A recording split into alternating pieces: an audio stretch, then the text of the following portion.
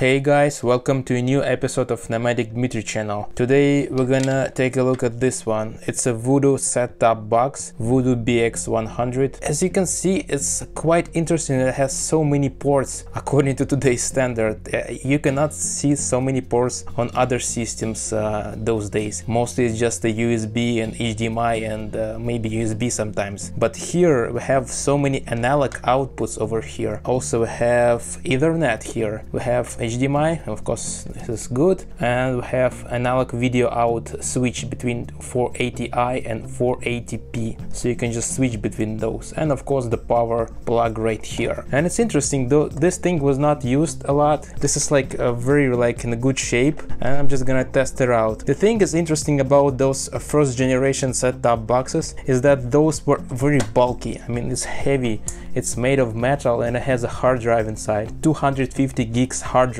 inside. Can you imagine that in, in those modern times? And also, this thing over there, this is not a Wi-Fi, this is actually a for the receiver, for the remote. So it's not actually Wi-Fi. There's no wi Wi-Fi here. It's just only Ethernet connection. If you want Wi-Fi, I think you can just purchase a separate adapter here and you can use it as Wi-Fi. But as far as I know, this is not popular. Nobody uses those those days, I think, but it's interesting. So I already unscrewed all those from here and you can see here what do we have? We have a card here. So in order to actually use this one you need to plug this card inside. Can you imagine that? You need to plug this card right here. It's just like authorization for using this one. So what do we have here? We have the SATA cable right here. So it's plugged right to this uh, motherboard. And let's actually unscrew those and see what's inside.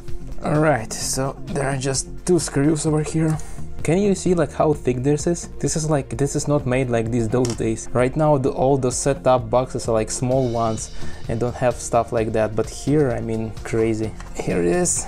There's a fan, there's a hard drive which occupies more than half of this space. and it's SATA cable right here so you can disconnect I guess. Actually I'm not sure what about if you can use some other drive. Is there some firmware actually to stop you using other drive? Or like you mandatory need to use this one? I'm not sure so let's just plug it in and see how it works at least. Let's not forget about this card over here which must be plugged in order to boot. So this is the remote right here and I'm gonna plug the power and see if it works so according to this crazy sound, it seems to be booting up. So why there's no signal? Press the button on the remote. I see some color here, so maybe it's actually booting right now. So it's doing something right now, so I guess it's booting. Let's see.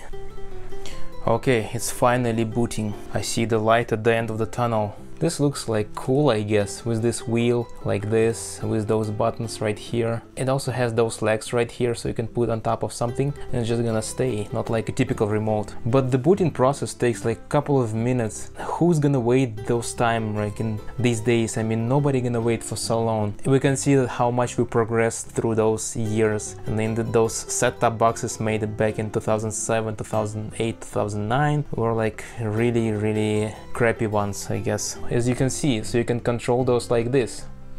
You can control this list like this. Uh, so influence settings you can go right here and you just press like middle button which is not really convenient. I thought there should be like some enter button but I like this one.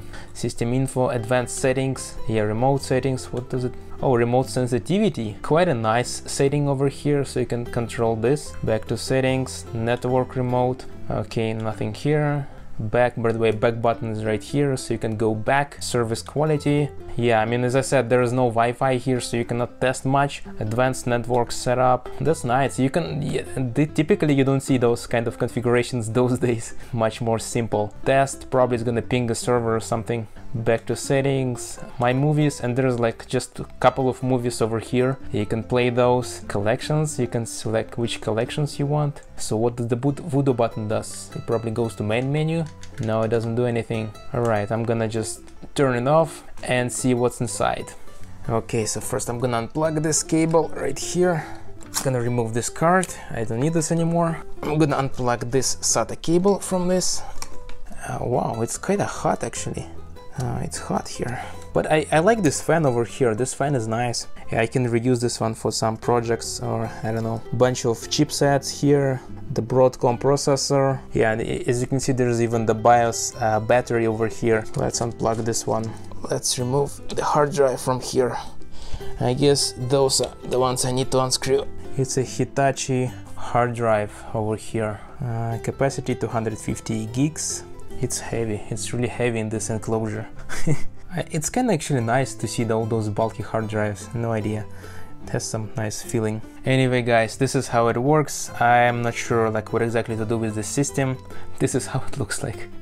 Thanks for watching and please subscribe to my channel. And i think there should be some kind of encrypted file system here. It all should be encrypted. Probably there is no access to this system over here. I don't even want to try quite honestly.